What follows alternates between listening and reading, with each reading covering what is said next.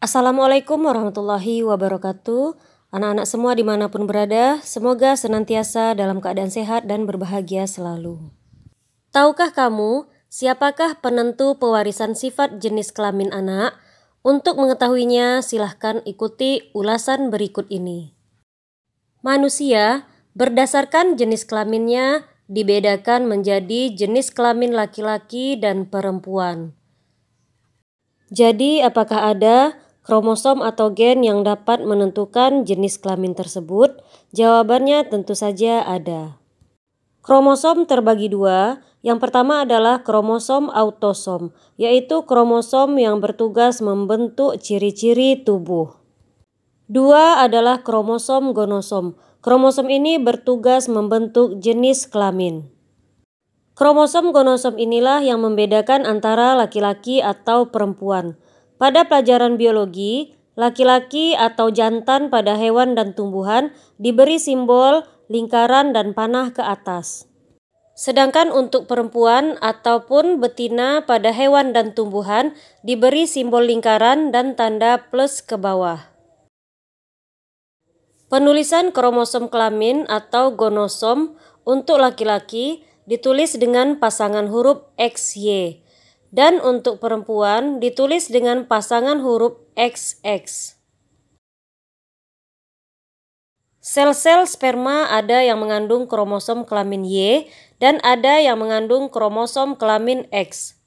Gen-gen pada kromosom kelamin Y memiliki peranan penting dalam menentukan jenis kelamin pada manusia. Sehingga pada laki-laki terdapat pasangan kromosom kelamin yaitu XY. Sedangkan pada sel ovum atau sel telur hanya terdapat autosom dan kromosom kelamin X saja. Sehingga kromosom kelamin pada perempuan ditulis dengan pasangan huruf XX.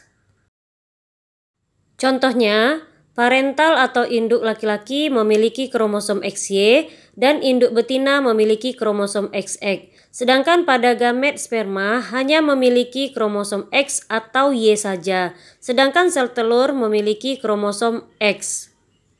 Pada saat terjadi fertilisasi, jika kromosom Y dari sperma bertemu dengan kromosom X dari sel telur, maka akan menghasilkan pasangan kromosom XY sehingga jenis kelamin keturunannya adalah laki-laki.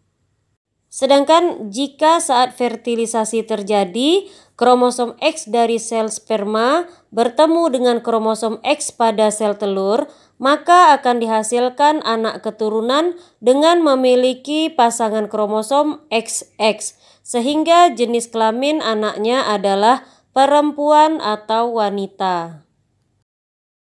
Jadi dapat disimpulkan bahwa penentu sifat keturunan jenis kelamin pada pewarisan sifat ditentukan oleh kromosom X dan Y dari sel sperma seorang ayah atau laki-laki. Demikianlah ulasan ini, semoga bermanfaat. Assalamualaikum warahmatullahi wabarakatuh.